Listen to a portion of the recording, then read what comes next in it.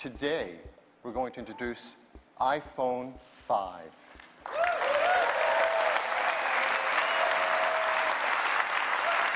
And I'd like to show it to you right now.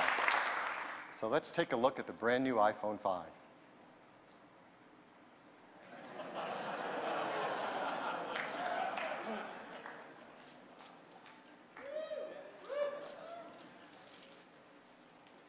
It is an absolute jewel. It is the most beautiful product we have ever made, bar none. We'll put a video up on screen so you can see it even bigger, since it's so small. And this is iPhone 5.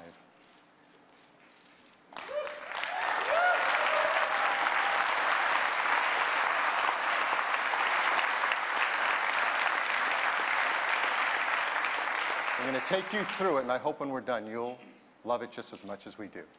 Thank you. So, iPhone 5. It is made entirely of glass and aluminum.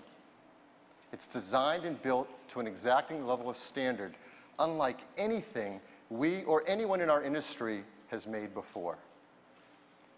And I don't think it is an exaggeration to say that the hardware and software engineering that has gone into this product is the most challenging our team has ever taken on. And what they've accomplished is simply amazing. So let's walk through it. First, iPhone 5 is the thinnest phone we have ever made. It is the lightest as well. The new iPhone 5 is just 7.6 millimeters thin. That's 18% thinner than the iPhone 4S. And best of all, it's the world's thinnest smartphone. It also weighs just 112 grams. That's 20% lighter, one-fifth lighter than the iPhone 4S. Volumetrically, it's smaller as well. So before we get into it, this is the monumental, monumental challenge the team had. Can you make a phone that has everything the iPhone 4S has before you even talk about new features in a design that's thinner, lighter, and smaller than the previous product? It is really easy to make a new product that's bigger Everyone does that. That's not the challenge. The challenge is to make it better and smaller. So let's start with the product.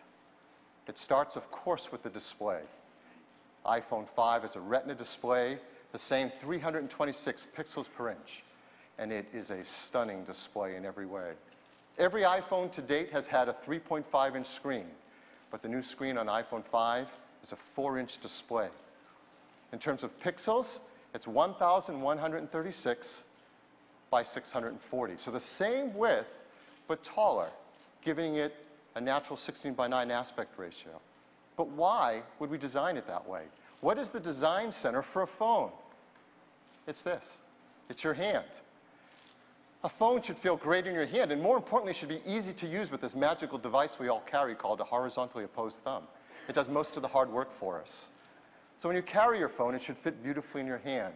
It should be easy to send messages, type emails, surf the web, and that's just how we designed iPhone 5.